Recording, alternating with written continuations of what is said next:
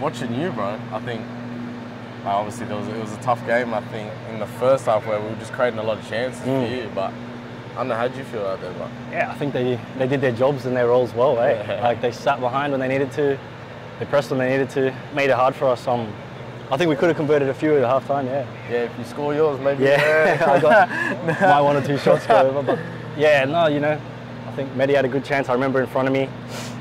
Yeah, man, few few crosses.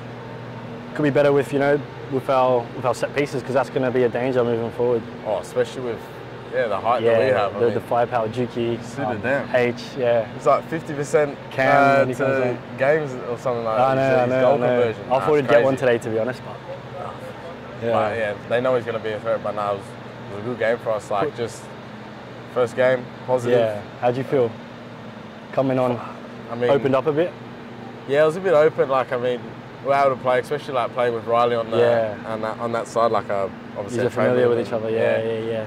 But now it was a good game. Like, obviously, it's my first game in a major tournament, so. Good. Trained well yesterday as well.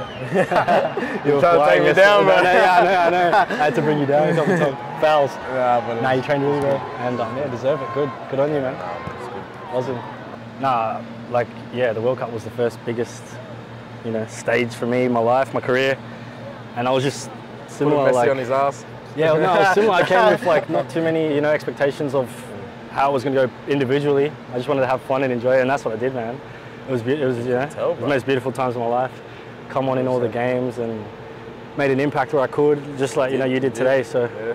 just take every game in your stride and have fun. Don't lose that, you know, fun and enjoyment out of it because then if you take it too seriously, I think it can go the other way and you know you can put too much pressure on yourself. So need a good balance, and I think you've got it. You know, I off the think- field you're always joking and stuff. So. But even like from my experience, like going overseas, like that's Mm. like the biggest. You're already thing. playing in the big stage there, so It's like it's like the biggest thing. You don't want to get too focused. You know, obviously, you got to focus on the game, but like you got to you got to Mm. Enjoy balance, it. eh? Enjoy it at the end of yeah, the day. Yeah, you need a good balance. yeah, man. Yeah.